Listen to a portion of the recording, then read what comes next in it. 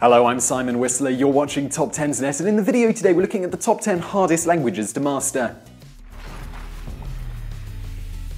Number 10, Finnish. Study time 1,100 hours plus. The fact that Finnish is even around as a national language today is thanks to one guy, Johan Snellman. A philosopher and Finnish nationalist, Snellman was the guy who brought written Finnish out of the shadows of Swedish, which was still seen as being more cultured at the time. Sadly, though, Snellman's opening up of written Finnish didn't make it any easier for the rest of us to learn. While Swedish will take you around 600 hours of study time, Finnish will take almost double that. Although Finnish uses a mostly Latin alphabet, bar the odd A with two dots on top, it has some distinctly weird aspects that make it tricky for English speakers. First, like German, Finnish is one of those languages where you can keep combining words into gigantic compound nouns that look terrifying on paper. There is even a 61 letter word. Second, the standard and spoken language are wildly different, which can be a real headache for learners. Lastly, any language that can present you with the sentence vihdoin, vihdoin, vihdoin and tell you that each of those three identical words means something different, in this case, I finally whipped myself with a birch branch, is guaranteed to set a few heads exploding.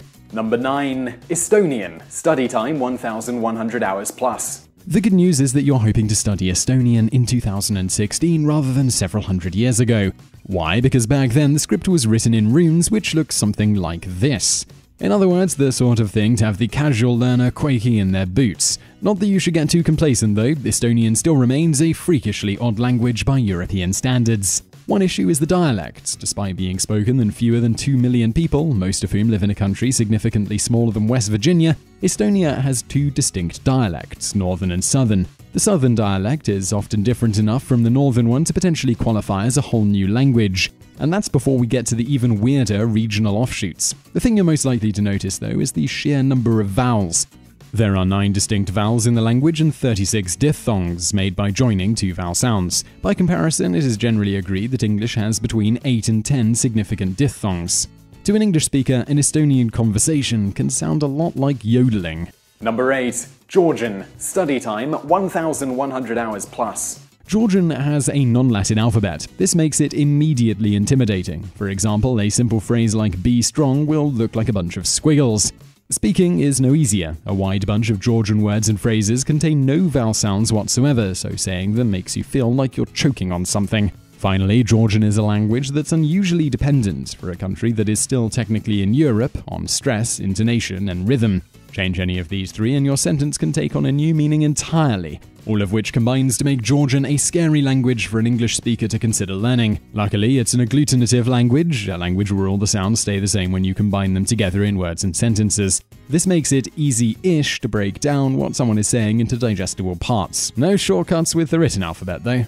Number 7, Hungarian. Study time 1,100 hours plus. There's a wonderfully odd story tucked away in the history of Hungarian. First widely written down in 1000 AD, the language stumbled in the 18th century.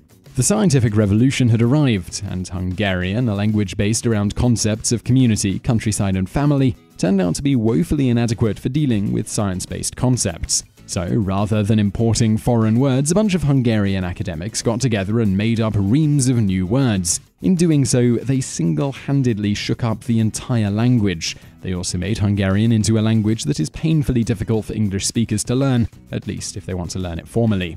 Learning Hungarian properly involves dealing with six verb tenses. In English, we only have two, which we combine with other words to create stuff like the future imperfect or whatever. Thankfully, though, most ordinary Hungarians only use two. On the other hand, they use a heck of a lot of idioms. This means Hungarian sentences always sound colourful, but can also sound like someone talking in code. Then there's the matter of cases. Hungarian has around 20 cases as opposed to English's 3 subjective, objective, possessive. Interestingly, it's possibly the only European language to have built in patriotism. When you visit parts of the old Hungarian Empire, you are on them. Anywhere else, you are in. Number 6. Mongolian. Study time 1,100 hours plus. It's not often we say this, but thank God for the USSR. Prior to 1946, the written language of Mongolia looked something like this. Then the Soviets decided their Central Asian republic needed a more Russian outlook and pushed through a Cyrillic alphabet. So nowadays the language looks more like this. Obviously, for an English speaker, that's still terrifying, and so it should be. Despite only having around 5 million speakers, Mongolian has a vast number of dialects so different that some think they should be classified as separate languages. On top of that, modern Mongolian tends to mix in Chinese words and ideas, which opens up a whole new frontier of difficulty. Then there's the sheer alien quality of it. Like Estonian, it's a vowel heavy language. That means it can sound almost musical to English ears, but freakishly hard to replicate. The good news is that English words and phrases are now starting to creep into modern Mongolian, so you may not be able to book a hotel room or a plane ticket, but you'll be able to order a skinny latte with ease. Number 5. Vietnamese. Study time 1,100 hours plus. If you've got to learn a difficult but not insanely difficult language, Vietnamese might be a good bet. Spoken by 70 million people globally, it has more speakers than every other language on this list so far combined. It's also probably the most unlike English. While its Latin script might mean Vietnamese looks more friendly than, say, Georgian, don't be fooled.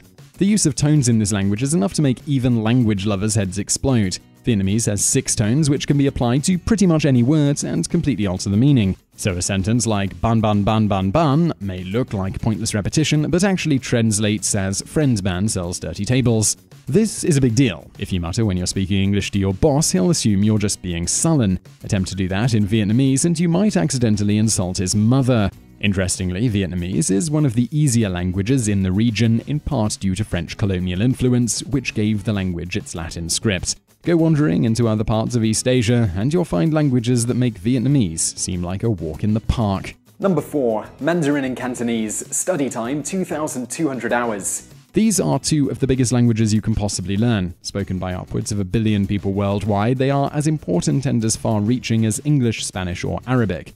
They're also insanely hard, so hard that the FSI estimates it'd take you over 85 weeks of full time study to get to an adequate level.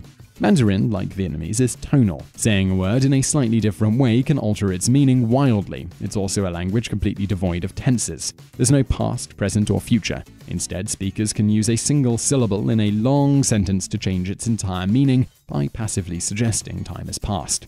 As an additional headache, it's also a super polite language. There are many ways to address people depending on their relationship to you. Use the wrong one and watch all the goodwill in the room evaporate. Cantonese is problematic too. Putting a word in the wrong place in the sentence can completely change its meaning to a ridiculous or hilarious degree. Speakers also talk differently about a subject or object as a way of demonstrating how important it is to them.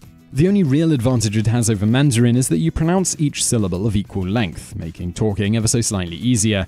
Oh, and of course, they both use a non Latin script. Number 3. Arabic. Study time 2,200 hours. To an English speaker, the Arabic script is fascinatingly strange, like sinuous lines drawn in sand. Just have a look at this. Isn't that all sorts of weird and romantic? It's also difficult. In 2010, a study revealed that learning to read Arabic is unusually taxing on the brain. It's not just reading either. The most common version of Arabic is Modern Standard Arabic, used across 26 countries in North Africa and the Middle East by around 300 million people. Only English and French are official languages in more countries. However, modern Standard Arabic is subdivided into so many different dialects that a non native who wants to learn one version won't necessarily be able to understand another. This can be both confusing and highly frustrating. As regards the quirks of the language, Arabic has a flexible word order, which means you can mix up your sentences and still make sense. On the other hand, listening to someone talk can be as confusing as heck. That's before we even mention the 12 forms of personal pronouns. Number 2. Korean. Study time 2,200 hours. We used to seeing Korean written down as wonderfully alien characters like this. To English eyes, this looks difficult enough, but it's actually even harder. Written Korean is all bunched together into syllable blocks, meaning that one character can contain multiple individual letters. Getting used to combining them in a legible way is just one of the many challenges facing English learners of Korean. One major issue is word order. In Korean, the verb usually comes last. The rest of the sentence is pretty fluid, meaning words can shift around in places and leave you feeling massively confused. Even harder is the crazy level honorific system, which requires you to use a whole different set of words and verb endings depending on how you socially stand in relation to the person you're talking to. The not so good news get this part wrong and you could wind up badly insulting someone. The good news young Koreans are starting to discard this aspect of their language entirely. Number 1. Japanese. Study time 2,200 hours plus. This is it. According to the FSI, Japanese is the hardest major language for English speakers to learn by a country mile. It's like Korean on steroids, a language so infused with politeness that being anything less than a native speaker is to walk into a linguistic minefield. Forget to use the correct verb or honorific word forms and watch everyone look at you like you've just pooped on their bedroom floor.